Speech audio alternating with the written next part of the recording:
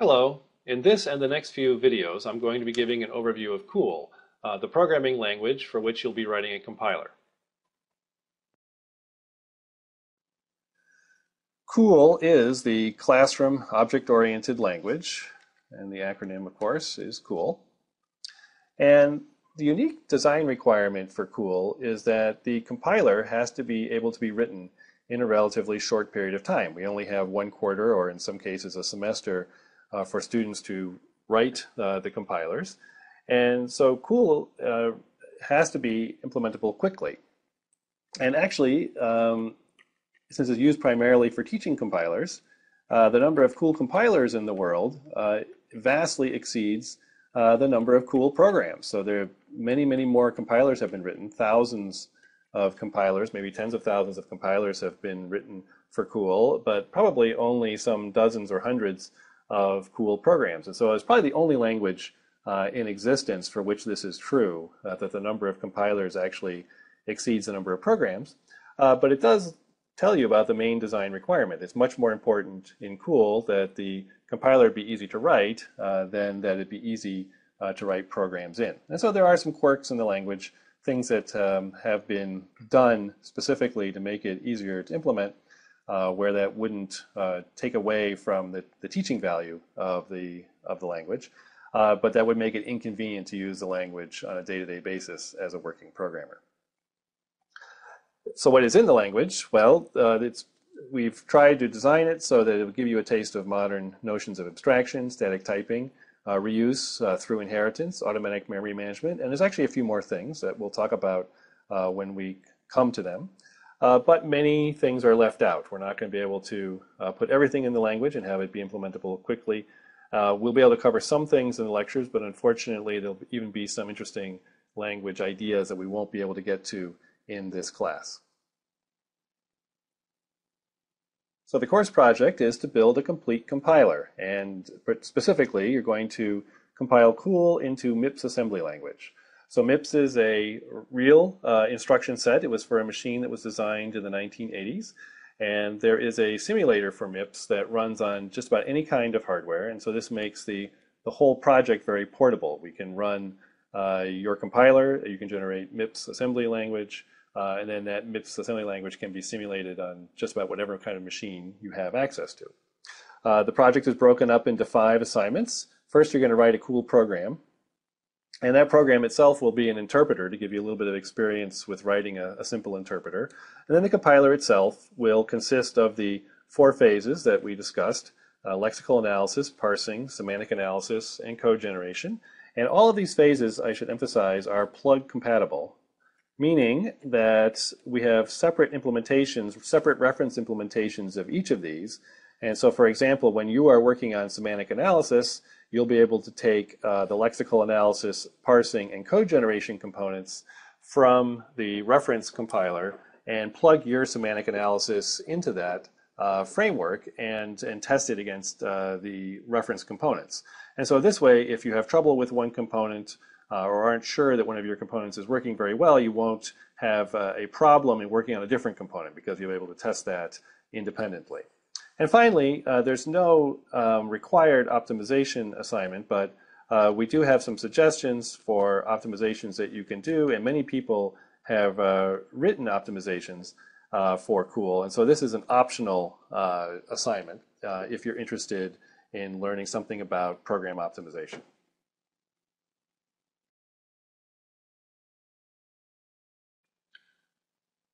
So let's write the simplest possible COOL program. And the first thing to know is that COOL source files end in the extension .cl for COOL, and you can use whatever editor you like uh, to write your programs. I happen to use Emacs. Uh, you can use some other editor if you like. And every COOL program uh, has to have a class called main. And let's uh, talk about that for just a second. So a class declaration in COOL begins with the keyword class, followed by the name of the class, so in this case main, uh, followed by a pair of curly braces. And inside the curly braces is where all the stuff that belongs to the class goes. And every class declaration must be terminated by a semicolon. So a program consists of a list of class declarations each class declaration terminated by a semicolon. So that's the structure of a class. And now we need this class to actually do something. Uh, so we're going to have a method in this class, and let's call the method main.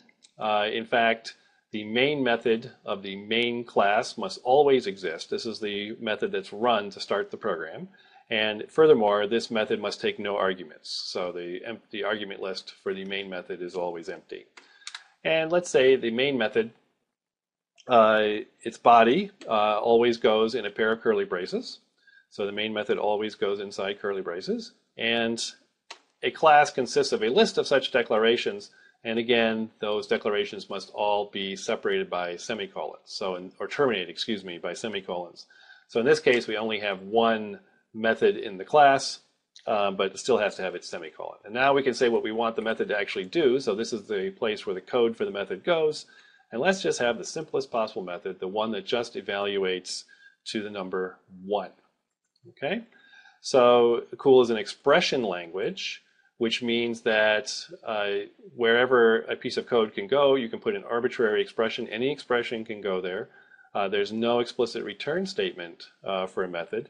It's just the value of the method body is the value of the method. So in this case, we just put the number one in there, and that will be the value of this method when we run it.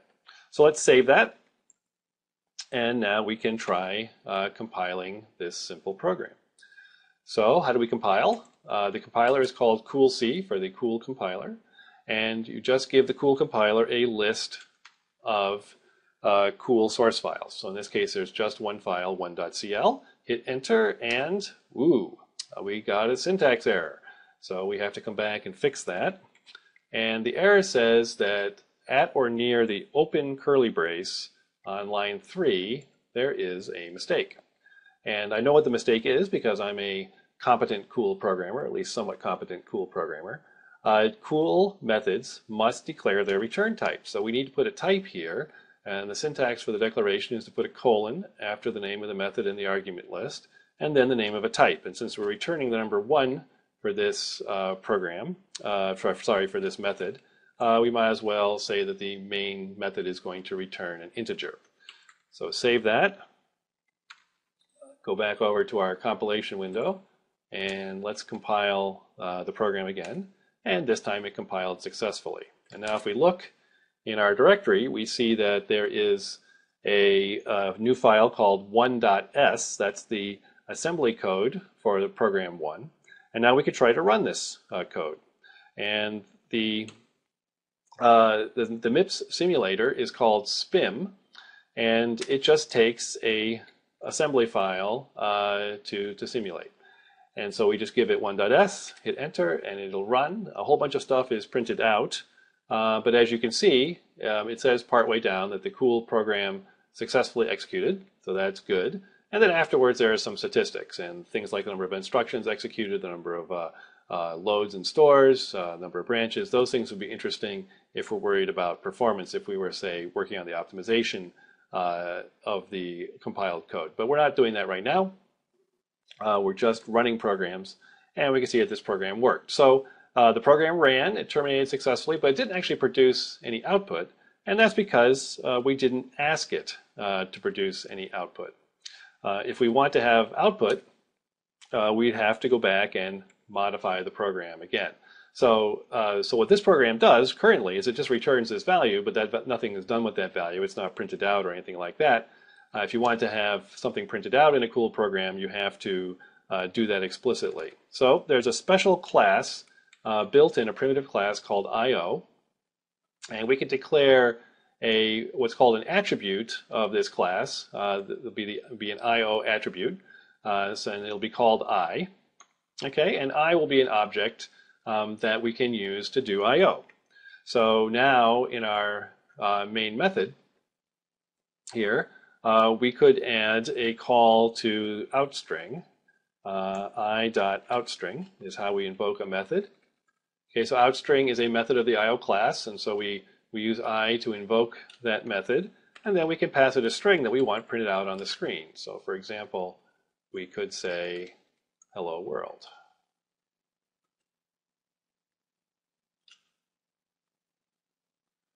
Okay, And now uh, we have to decide what to do uh, with our number one there. And let me show you one more feature of cool. Uh, let's leave the one there and let's make it part of a statement block. So a statement block consists of a sequence of expressions separated by semicolons. And you can have any number of expressions and the semantics of a statement block or an expression block is to just evaluate the expressions in order and the value of the block is the value of the last expression. And now a statement or an expression block has to be included in its own set of curly braces. Okay, so that now is a valid cool program. So let me just uh, read this for you.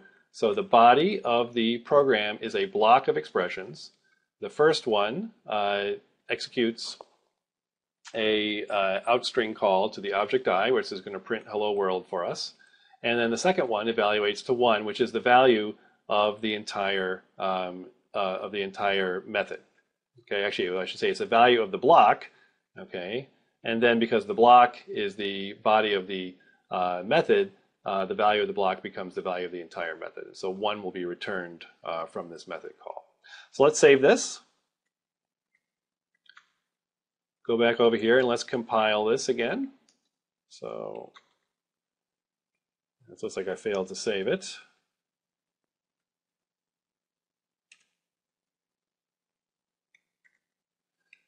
Let's compile this and we see we have a syntax error. And so it says on line four, we have a syntax error at or near our closing uh, curly brace. And the problem here is that a statement block or an expression block uh, consists of a uh, series or a sequence of expressions terminated by semicolons, and we forgot to terminate the last expression in the sequence uh, by its semicolon. So we have to add that. And now we should be able to compile this. And lo and behold, it compiles correctly. And then we can run it. And now we see, oh, we got another mistake. Uh, so we have on, uh, when the program ran, it complained that we have a dispatch to void. So that on line four, our dispatch was to an object that didn't exist. And you can see the dispatch call right here to I. And it doesn't exist because, in fact, we forgot to allocate uh, an object for I. So here we declare I to be of type IO, but that doesn't actually uh, create any objects. That just says that just creates a variable name I, uh, but I doesn't actually have a value. So if we want I to actually have a value, we have to initialize it to something. Uh, so we can initialize it to a new IO object. And new here is the way that you allocate uh, new objects in cool, and new always takes a type argument. So in this case, we're creating a new object of type IO, and we're assigning it to this object I. And notice here that I is a is a is what would be called a field name in Java. It's an what we call an attribute in cool. So uh, so these are the data the data elements of uh, of the class. And uh, so the class can have both uh, names of things that are sort of attributes or fields that hold values as well as methods uh, that can perform computation. So let's save this and switch back. And now we'll uh, compile this again. So, and it still compiles, and now we can run it. And now it runs, and lo and behold, as you can see down there, third line from the, the top, it prints out hello world. And that looks a little bit ugly uh, because uh, the, uh, the successful execution message is on the same line as our hello world message. So let's fix that. Let's come back over here.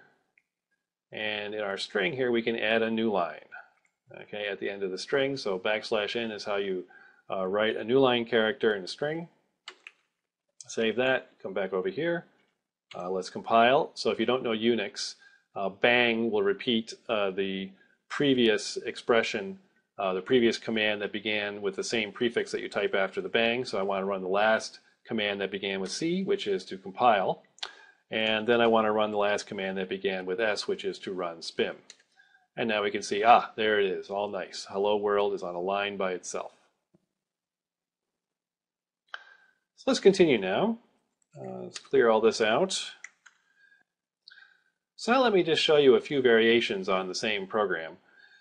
What I'm going to do here is just uh, rewrite it in a couple of different ways, uh, just to illustrate a few features of COOL um, and get you more familiar with the syntax, and also just show some alternative ways uh, to do the same thing.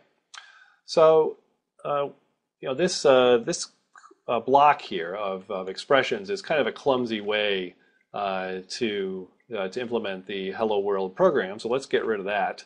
Uh, let's get rid of the the block. Let's get rid of the one here at the end Okay, let's just make the statement body um, a single expression again. And, and now the problem we're going to have is that the types won't match. Uh, but just to illustrate that, let me show it to you. So let's do cool c of 1.cl. And you'll see here that it complains that the inferred return type IO of the method main does not conform to the declared return type int. So coming back over here the, uh, to the program, uh, the uh, the compiler figured out that this expression, i.outstring, uh, yields an object of type IO. So it returns the I object as the result of evaluating this expression. And that does not match the type int. And so naturally, uh, the compiler says, hey, something's wrong with the types. Well, that's easily repaired. We can just change the return type of the main method to say it returns something of type IO. So let's go back over here and see that that now works. So we compile the program, and then we run spim on the output, and yes, everything still works as expected. Now, we don't have to be so specific about the type over here, since we're not actually using uh, the result of the method body for anything. I mean, the program just exits uh, once it prints the string. Uh, we could have allowed ourselves more uh, flexibility here. We could have just declared the result type of main to be of type object. So object is the root of the class hierarchy in COOL. Uh, every other class is a subclass of object. So let's come back over, here. let's save this first, and then we can come back over to our compilation window.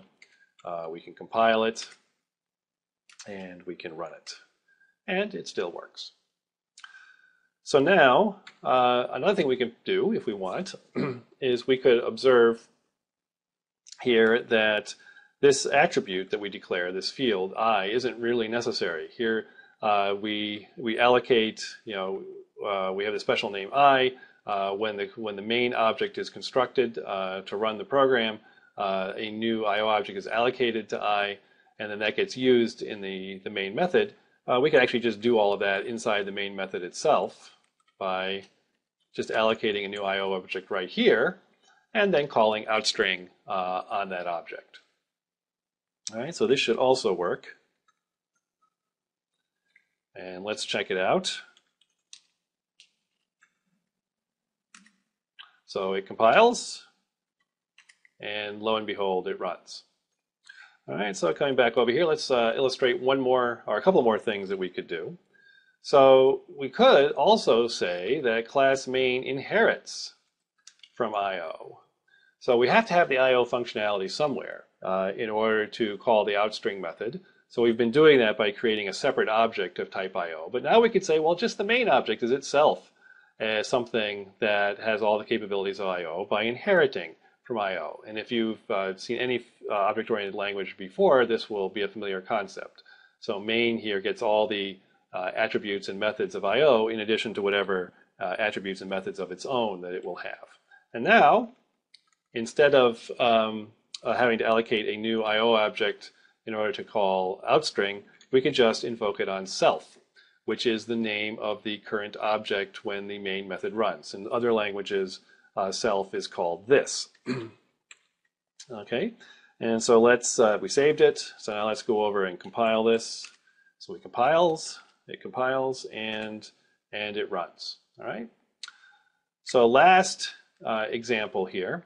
Uh, we don't have to name self uh, actually in this dispatch. So there's a feature that allows us to uh, call a method uh, without explicitly naming the object on which it's dispatched, and that defaults to self. So if no object is named in a dispatch, then it's just a dispatched self. So this should also work.